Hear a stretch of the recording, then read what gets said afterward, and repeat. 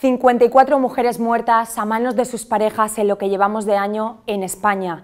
Todas ellas tenían un nombre y una historia, y eso es precisamente lo que ha querido poner de manifiesto el Centro de Investigación de Estudios de Género de la Universidad Miguel Hernández durante la celebración del Día Internacional de la Eliminación de la Violencia contra la Mujer.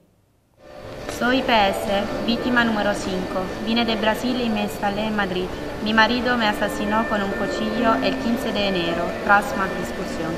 Detrás de todos estos números hay una historia, la de las 54 mujeres que han muerto este año en España víctimas de la violencia de género.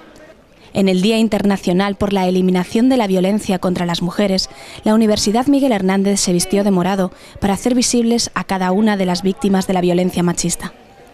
El Centro de Investigación de Estudios de Género de la UMH contó así todas estas historias de dolor.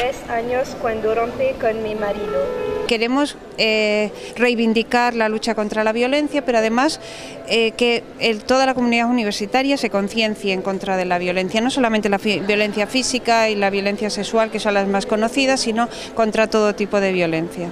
Mi marido me asesinó de un tiro de escopeta tras 20 años. La violencia contra las mujeres es una pandemia mundial que cada vez está más presente en las relaciones entre los adolescentes. Por eso la UMH ha querido concienciar a la comunidad universitaria, sobre todo a los estudiantes, de este problema social. Durante tres días se han instalado buzones como estos en los distintos campus para que los estudiantes compartieran experiencias y deseos sobre cómo acabar con este tipo de violencia. Que se avance la legislación, que todo paso sea un avance en la lucha contra la violencia de género y que bueno y que no sean los ajustes lo que dificulte los ajustes presupuestarios lo que dificulte esa, esa lucha. Pretendemos visibilizar la lucha para que todos los días, todos y todas, podamos eh, seguir en, esta, en este camino ¿no? para buscar una sociedad más igualitaria. Durante el acto se leyó un emotivo manifiesto contra la violencia machista. Soñé con volar, pero se escribía con V, con la V de la violencia a la que nada escapa. Después se abrieron los buzones y se lanzaron todos los mensajes para derribar una gran V, una V de violencia violeta.